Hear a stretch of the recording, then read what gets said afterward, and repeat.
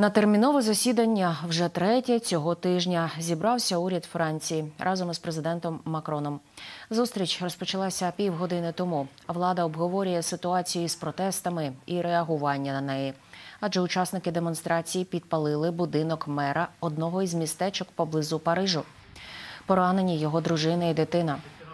Заворушення почалися після вбивства поліцейськими підлітка північноафриканського походження. Правоохоронець зробив фатальний постріл, коли хлопець не зупинився на вимогу.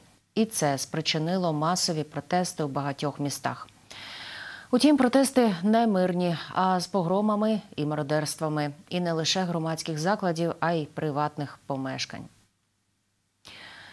Бабуся загиблого підлітка звернулася до протестувальників із вимогою заспокоїтись і закликала до справедливого суду не лише над поліцейськими, які чинять наругу, але й над заколотниками, які порушують лад на вулицях Франції. Про перебіг ситуації розповість Нона Стефанова. Будинок мера одного з передмість Парижу, містечка Лай-де-Роз, пошкоджено під час нічних заворушень у Франції. Протести не вщухають із вівторка через убивство поліцією підлітка, який не зупинився на вимогу правоохоронців. І, хоча це сталося в іншому передмісті Нантер, заворушення поширилися на кілька регіонів, міст і містечок. Протестувальники хотіли напасти на будівлю мерії, але не змогли. Вона загороджена. Тож вони напали на приватний будинок мера. Внаслідок нападу поранені дружина і одна з двох дітей мера. Зловмисники протаранили ворота і підпалили дім та автівку.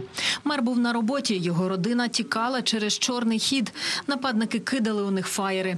Мерію намагалися штурмувати уже кілька днів поспіль, тому її обгородили захисними бар'єрами. Нападу на приватну власність не чекав ніхто. Підтримати мера і людей до Лайдерос приїхала глава уряду і президентка Ради Паризького регіону. Жителі містечка висловлюють підтримку меру і обурені діями протестувальників. Вони ламають усе просто заради того, аби ламати. Хочуть поширювати терор, нападати на законно обрану владу і поставити під загрозу нашу країну. Підліток, який загинув від кулі поліцейського, 17-річний Нагель північноафриканського походження. Поліцейський під слідством. Учасники протестів, це здебільшого молодь, нарікають на поліцію і звинувачують правоохоронців у расизмі. Хлопець, якого вбили, був підлітком, і тому дедалі більше підлітків приєднується до протестів, і ми їх підтримуємо. Бо те, що відбувається, несправедливо. Це все поліція. Уявляю собі, що сталося з моїм братом на вулиці лише через те, що він відмовився підкуритися. Ніхто з нас не почувається у безпеці, а повинні почуватися у присутності поліції. Однак ні, ми боїмося правоохоронців, і це ненормально. Охороняють порядок на вулицях французьких міст 45 тисяч полісменів. Під час заворушень понівечені і розграбовані сотні громадських закладів, магазини, банки, заклади харчування, вуличні ядки, а також знищені зупинки громадського транспорту і приватні автомобілі. Щоночі влада арештовує сотні протестувальників, які порушують громадський порядок. Я певна, що в наступні дні насильство зменшиться. Усі силові структури задіяні і працюють над розбудовою нової безпеки у регіоні.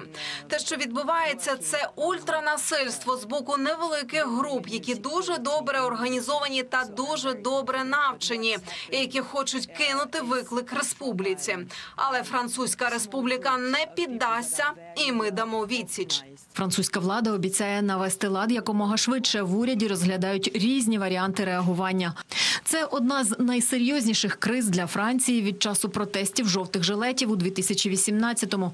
Під загрозою не лише міжнародний імідж, а й проведення Олімпіади 2024 року.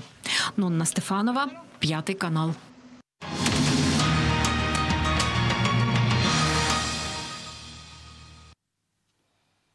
Три випадки незаконного продажу риби невідомого походження зафіксовано на Дніпропетровщині. Після обміління водойм та річок унаслідок підриву Каховської ГЕС у кількох областях на півдні та сході продаж риби з місцевих водойм заборонені. Держспоживслужба посилила контроль за торгівлею риби. Чи дотримуються продавці заборони на ринках Дніпра, дізнавалася наша Дар'я Візер. На центральному ринку Дніпра в рибних рядах майже порожньо. Пані Світлана вибором розчарована. Каже, без риби повернутися додому не може. Мої котики їдять, я не собі. Я не собі. А знаєте, що зараз риба з тих територій де небезпечно їх? Ну я знаю, моя кішечка їстиме все.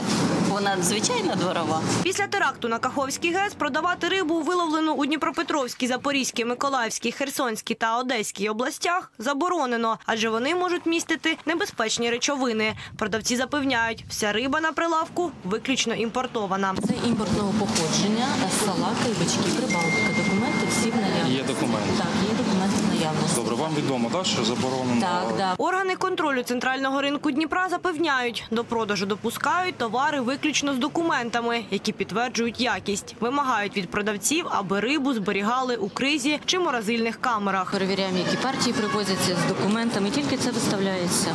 І Виставляється невеличка кількість продукції, е, крига є і е, в мор- в морозильних камерах все. Також перед продажем риба обов'язково проходить контроль у лабораторії. Дивимось на шелуху риби, щоб вона була яскрава, на жабри дивимось, щоб вони теж е, відповідали яким треба нормам.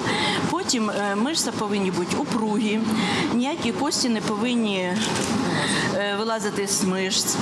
І дивимось, якщо риба свіжа по органолептиці, ми її випускаємо. Якщо в нас якісь сумніви є, ми робимо мікроскопію. Вживання риби невідомого походження може призвести до тяжких отруєнь, попереджають фахівці Держпродспоживслужби. загрожує е, ботулізм, тому що якщо риба в'ялена, копчена, то е, ботулізм це інфекція, яка дуже швидко розповсюджується, і захворювання дуже тяжке і е, з тяжкими наслідками. Також е, інфекційні захворювання, риба хворіє на всякі паразитологічні захворювання, тому е, це також передається для людей. Але не всі продавці дотримуються заборон. На трьох ринках Дніпропетровщини співробітники Держпродспоживслужби таки виявили рибу невідомого походження. В місті Тернівка Павлоградського району Дніпропетровської області на агропродовольчому ринку центральний було виявлено рибу без відповідного е, без відповідних документів невідомого походження. Це були лящ, щука і синець, які були вилучені із обігу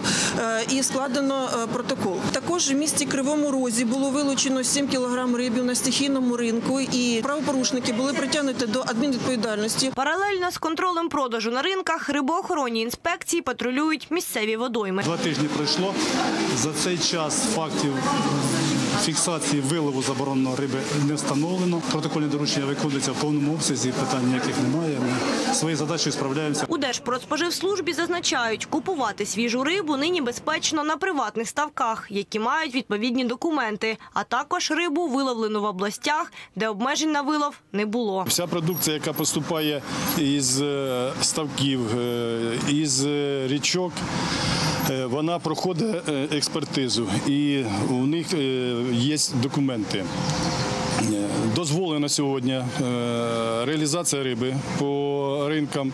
Це е, з міст це Черкаської області, е, Харківської областей, Кіровоградських. Санітарні служби наголошують, вживання в їжу риби із заборонених територій навіть після термічної обробки є небезпечним. Тому копчена, в'ялена та смажена риба невідомого походження є потенційним носієм